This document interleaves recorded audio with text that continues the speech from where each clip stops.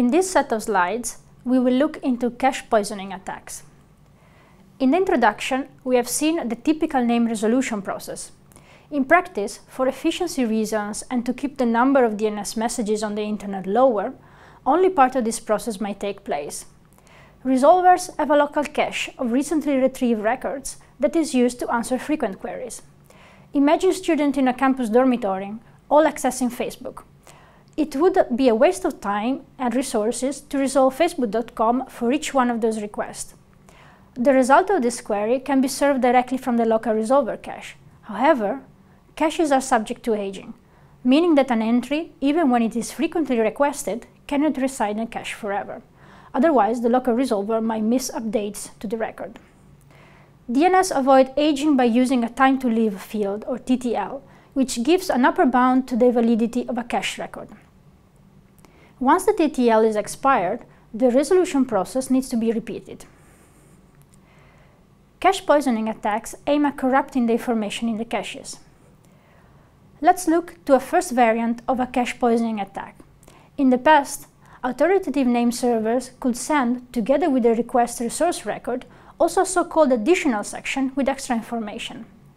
The additional section could contain, for example, a resource record for a domain not related to the one that was requested. Let's see how this works. Assume that a malicious host issues a query for .hackers.com, a forged domain. The local resolver will ask the authoritative name server of hackers.com the A record for hackers.com.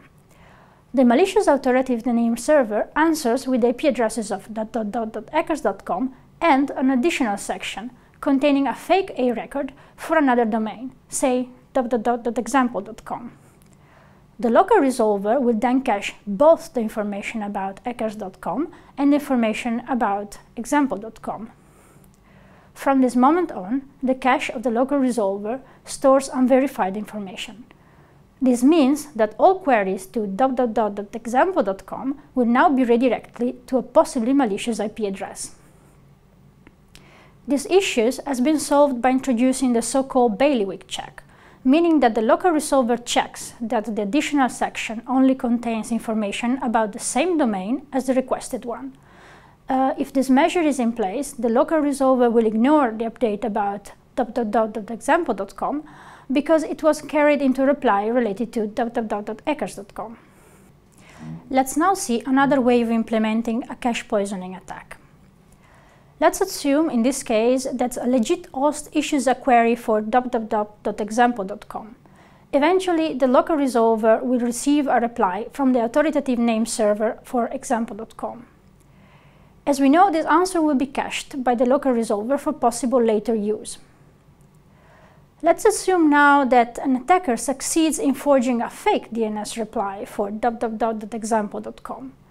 If the local resolver is full in accepting the answer, it will cache the malicious mapping, and this is another instance of cache poisoning.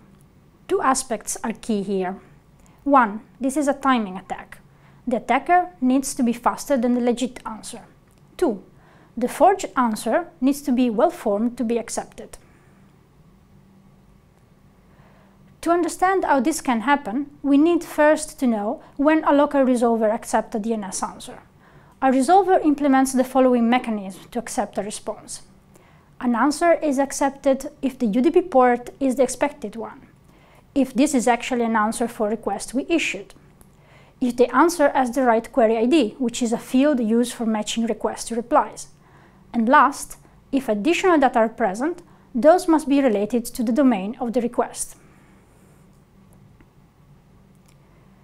With this mechanism in place, how is then cache poisoning still possible? Cache poisoning is harder, but not impossible. Clearly, there is quite some guessing to be done from the attacker side. Think about the UDP port and query ID. And the malicious answer needs to arrive at the right time as well. Let's rework our example in more detail. First of all, the malicious host can prompt a query about the domain it wants to poison. In this way, the attacker gains an advantage, because it does not need to guess a query. While the local resolver goes through the resolution process, the attacker has time to brute force the query ID. The port number is often not a problem for the attacker, since it is often the same for all queries from the local resolver. Things were even easier in the past when resolver incremented the query ID by one for each request.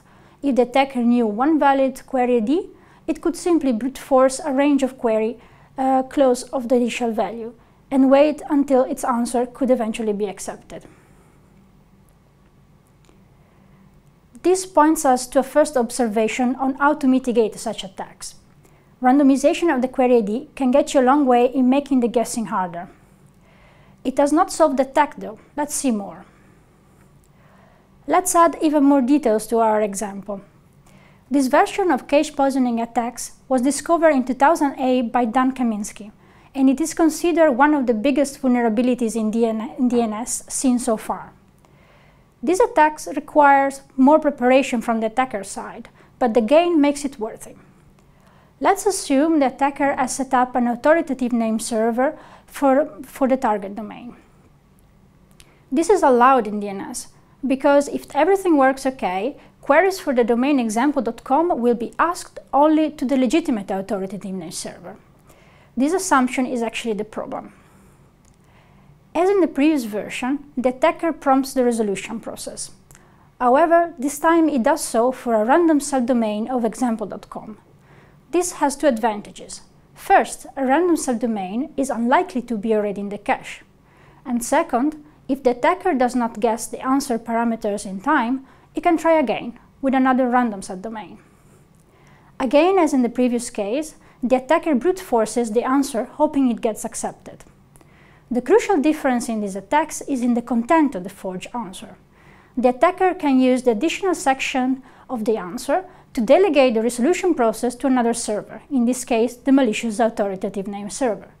If this query is accepted, the attacker captures the entire domain, because from that moment on, any query to a subdomain of example.com will be answered by the malicious authoritative name server. If you're now asking yourself how this situation can be solved, a few considerations are important. First, as first response once the attack has been discovered, the resolver port has been randomized. Together with the query ID randomization, this blows up the number of tries an attacker should make to now guess both a random query ID and a random port. In theory, this should solve the issues. A study conducted at the University of Amsterdam has looked into how the query ID and the ports are distributed in real DNS traces. The scatter plot on the right, based on data collected at one of the authoritative name server in SURFnet, shows that there is a good degree of randomization of those two elements. However, the picture also shows that some patterns can occasionally emerge, like horizontal or vertical lines or higher density zones. This suggests that although the mechanisms for randomization are in place, they can occasionally not be used or there might be occasionally less entropy than we think. Let's now wrap up with two more considerations about mitigation. First, although we have not said it explicitly, the last two examples of cache poisoning attacks works because the attacker is able to spoof the IP of the authoritative name server. Blocking spoofing is therefore also part of the solution. Second and last, a considerable effort has been put into developing DNSSEC, which allows the resolver to authenticate the answers, therefore checking if they really are generated from the legitimate authoritative name server.